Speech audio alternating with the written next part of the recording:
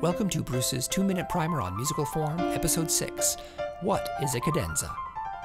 A cadenza is a loose term for pretty much any short, somewhat rhythmically free solo performed by a single musician or maybe a small group of musicians during a larger work. The earliest cadenzas were performed by singers who would have a short vocal flourish near the end of an aria or soloistic work. These were intended as a place for the soloist to show off their virtuosic technique.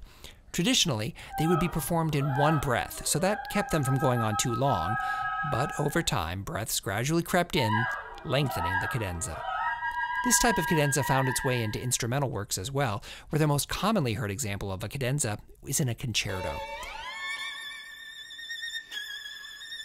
In the most typical occurrence, right near the end, the orchestra stops after a long and loud, unresolved chord and then the soloist has the opportunity to shine all by themselves, performing impressive technical passages that are inspired by the melodies in the concerto. These usually last anywhere from 30 seconds to 2 to 3 minutes or more before the orchestra comes back in, usually with one final statement of the main theme, and the work comes to an end. In that sense, the cadenza can often be seen as a warning get ready, it's almost over. Thank God! Traditionally, cadenzas would be improvised, made up on the spot during a performance, and many performers, often the composers themselves, did improvise. But over time, composers and performers planned what they would play in advance more and more, and even published their own original cadenzas, sometimes for their own works and sometimes for other composers' works that performers could use. Today, it's quite rare for a performer to genuinely improvise during their cadenzas. Sometimes cadenzas appear in more than just the last movement, most commonly with an addition to the first movement. Still, they usually would occur near the end in that it's almost done moment.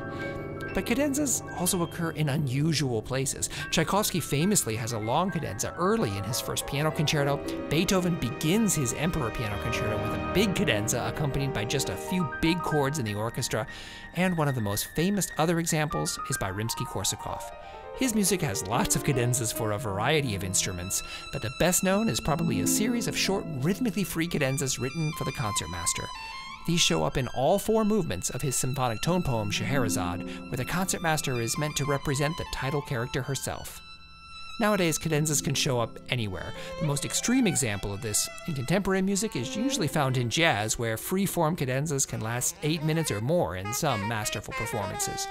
But in most music, even today, cadenzas are usually written out pretty specifically, but there is still an element of freedom, usually in that the rhythm is somewhat loose and up to the taste of the performers. And that is a short description of what we call a cadenza.